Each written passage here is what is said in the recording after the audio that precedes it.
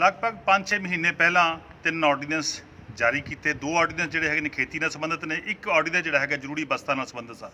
ਉਹ ordinance bill ਦੇ ਰੂਪ ਵਿੱਚ ਕੱਲ ਜਿਹੜਾ ਪਹਿਲੀ ਵਾਰ ਪ- ਹਿੰਦੁਸਤਾਨ ਦੀ ਪਾਰਲੀਮੈਂਟ ਦੇ ਵਿੱਚ ਪੇਸ਼ ਹੋਏ।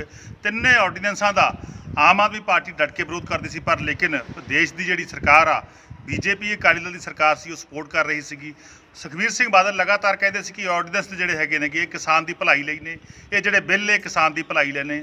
ਸਰਦਾਰ ਪ੍ਰਕਾਸ਼ ਸਿੰਘ ਬਾਦਲ ਨੇ ਇੱਕ ਵੀਡੀਓ ਰਾਹੀਂ ਪੰਜਾਬ ਦੇ ਕਿਸਾਨਾਂ ਨੂੰ ਬੇਨਤੀ ਕੀਤੀ ਕਿ ਜਿਹੜੇ ਬਿੱਲ ਨੇ ਜਾਂ ਆਰਡੀਨੈਂਸ ਨੇ ਤੁਹਾਡੀ ਭਲਾਈ ਲਈ ਨੇ। ਪਰ ਲੇਕਿਨ ਕੱਲ ਅਚਾਨਕ ਜਿਹੜਾ ਹੈਗਾ ਅ, ਸੁਖਬੀਰ ਸਿੰਘ ਬਾਦਲ ਨੂੰ ਕਿਸਾਨ ਮੋਹ ਜਾਗਿਆ ਕੱਲ ਦੇਸ਼ ਦੀ ਪਾਰਲੀਮੈਂਟ ਦੇ ਵਿੱਚ ਉਹਨਾਂ ਨੇ ਕਿਹਾ ਕਿ ਇਹ ਜਿਹੜੇ ਬਿੱਲ ਨੇ ਇਹ ਕਿਸਾਨ ਵਿਰੋਧੀ ਨੇ ਕਿ ਮੈਨੂੰ ਸਮਝ ਨਹੀਂ ਆਉਂਦੀ ਕਿ ਲਗਾਤਾਰ ਪਿਛਲੇ 5-6 ਮਹੀਨਿਆਂ ਤੋਂ ਝੂਠ ਬੋਲ ਰਹੇ ਸੀ ਪੰਜਾਬ ਦੇ ਕਿਸਾਨਾਂ ਨੂੰ ਜਾਂ ਹੁਣ ਝੂਠ ਬੋਲ ਰਹੇ ਨੇਗੇ ਕਿਉਂਕਿ ਉਹਨਾਂ ਨੇ ਕਿਹਾ ਕਿ ਮੈਂ ਇਹ ਬਿੱਲ ਪੜ੍ਹੇ ਨਹੀਂ।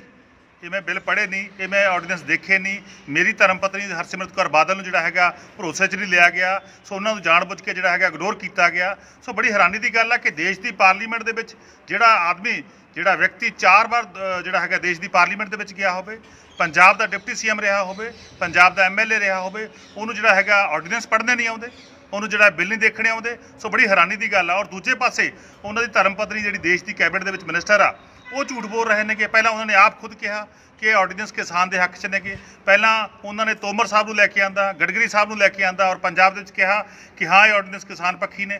ਹੁਣ ਜਿਹੜਾ ਉਹ ਜਿਹੜੇ ਆਰਡੀਨੈਂਸ ਨੇ ਕਿਸਾਨ ਵਿਰੋਧੀ ਹੋ ਗਏ। ਸੋ ਇੱਥੋਂ ਪਤਾ ਲੱਗਦਾ ਕਿ ਅਕਾਲੀ ਦਲ ਬਾਦਲ ਦਾ ਜਿਹੜਾ ਚਿਹਰਾ ਗਾ ਉਹ ਦੋਹਰਾ ਗਾ ਦੋਹਰਾ ਮਾਪਦੰਡ ਅਪਣਾਉਂਦੇ ਨੇ, ਦੋਗਲੀ ਗੱਲ ਕਰਦੇ ਨੇ। ਉਸੇ ਤਰ੍ਹਾਂ ਪੰਜਾਬ ਦੇ ਸੀਐਮ, ਪੰਜਾਬ ਦੇ ਜਿਹੜੇ ਮੁੱਖ ਮੰਤਰੀ ਰਾਜਾ ਅਮਰਿੰਦਰ ਸਿੰਘ, ਇਹ ਵੀ ਬਿਲਕੁਲ ਝੂਠ ਬੋਲਦੇ ਨੇਗੇ। ਇਹ ਵੀ ਕਿਸਾਨਾਂ ਨੂੰ ਗੁੰਮਰਾਹ ਕਰ ਰਹੇ ਨੇਗੇ। ਤੁਸੀਂ ਦੇਖੋ ਕਿ ਜਿਹੜੀ ਹਾਈ ਪਾਵਰ ਕਮੇਟੀ ਬਣੀ ਸੀ, ਜਿਹੜੀ ਦੇਸ਼ ਦੇ ਮੁੱਖ ਮੰਤਰੀਆਂ ਦੀ ਕਮੇਟੀ ਸੀ, ਪੰਜ ਮੁੱਖ ਮੰਤਰੀ ਸ਼ਾਮਲ ਸੀ, ਜਿਨ੍ਹਾਂ ਵਿੱਚ ਪੰਜਾਬ ਦਾ ਸੀਐਮ ਰਾਜਾ ਅਮਰਿੰਦਰ ਸਿੰਘ ਸੀਗਾ, ਪੰਜਾਬ ਦਾ ਫਾਈਨਾਂਸ ਮਿਨਿਸਟਰ ਮਨਪ੍ਰੀਤ ਸਿੰਘ ਬਾਦਲ ਸੀਗਾ। ਉਹਦੇ ਸਾਈਨ ਹੋਏ ਹੋਏ ਨੇ ਦਸਖਤ ਕਰਕੇ ਆਏ ਨੇ ਉੱਤੇ ਕਿ ਆਰਡੀਨੈਂਸ ਜਾਰੀ ਕਰੋ। ਸੋ ਇੱਥੇ ਆ ਕੇ ਪੰਜਾਬ ਦੇ ਕਿਸਾਨਾਂ ਨੂੰ ਗੁੰਮਰਾਹ ਕਰ ਰਹੇ ਨੇਗੇ। ਇਹ ਜਿਹੜੀਆਂ ਪਾਰਟੀਆਂ, ਰਵਾਇਤੀ ਪਾਰਟੀਆਂ ਨੇ, ਚਾਹੇ ਅਕਾਲੀ ਦਲ ਆ ਬੀਜੇਪੀ, ਕਾਂਗਰਸ, ਇਹ ਕਿਸਾਨ ਵਿਰੋਧੀ ਨੇਗੀਆਂ ਤੇ ਔਰ ਦੂਜੇ ਪਾਸੇ ਪੰਜਾਬ ਚ ਆ ਕੇ ਮੈਂ ਹੈਰਾਨ ਆਗਾ ਸੀਐਮ ਸਾਹਿਬ ਤੇ ਪੰਜਾਬ ਦੇ ਅੰਦੇ ਪੰਜਾਬ ਦੀ ਵਿਧਾਨ ਸਭਾ ਚ ਆ ਕੇ ਉਹਨਾਂ ਆਰਡੀਨੈਂਸਾਂ ਦਾ ਵਿਰੋਧ ਕਰਦੇ ਨੇਗੇ। ਸੋ ਆਮ ਆਦਮੀ ਪਾਰਟੀ ਉਹਨਾਂ ਦੇ ਵਿਰੋਧ ਦੇ ਵਿੱਚ ਆ। ਆਮ ਆਦਮੀ ਪਾਰਟੀ ਡਟ ਕੇ ਵਿਰੋਧ ਕਰਦੀ ਹੈ ਇਹਨਾਂ ਆਰਡੀਨੈਂਸਾਂ ਦਾ। ਆਮ ਆਦਮੀ ਪਾਰਟੀ ਕਿਸਾਨਾਂ ਦੇ ਨਾਲ ਖੜੀ ਆ, ਡਟ ਕੇ ਖੜਾਂਗੇ। ਅੱਜ ਵੀ ਖੜੇ ਆ, ਖੜੇ ਰਹਾਂਗੇ। ਜਦ ਤੱਕ ਇਹ ਆਰਡੀਨੈਂਸ ਵਾਪਸ ਨਹੀਂ ਹੁੰਦੇ, ਜਦ ਤੱਕ ਜਿਹੜੇ ਬਿੱਲ ਨੇ ਵਾਪਸ ਨਹੀਂ ਹੁੰਦੇ, ਆਮ ਆਦਮੀ ਪਾਰਟੀ ਕਿਸਾਨਾਂ ਦੀ ਮਦਦ ਤੇ ਲਗਾਤਾਰ ਖੜੀ ਰਹੂ। ਔਰ ਦੂਜੇ ਪਾਸੇ ਇਹ ਵਿਅਕਤੀ ਜਿਹੜੇ ਡਰਾਮੇਬਾਜ਼ ਨੇਗੇ, ਪੰਜਾਬ ਦਾ ਮੁੱਖ ਮੰਤਰੀ ਰਾਜਾ ਅਮਰਿੰਦਰ ਸਿੰਘ ਸੁਖਬੀਰ ਸਿੰਘ ਬਾਦਲ, ਪ੍ਰਕਾਸ਼ ਸਿੰਘ ਬਾਦਲ, ਹਰਸਿਮਰਤ ਕੌਰ ਬਾਦਲ ਔਰ ਬੀਜੇਪੀ।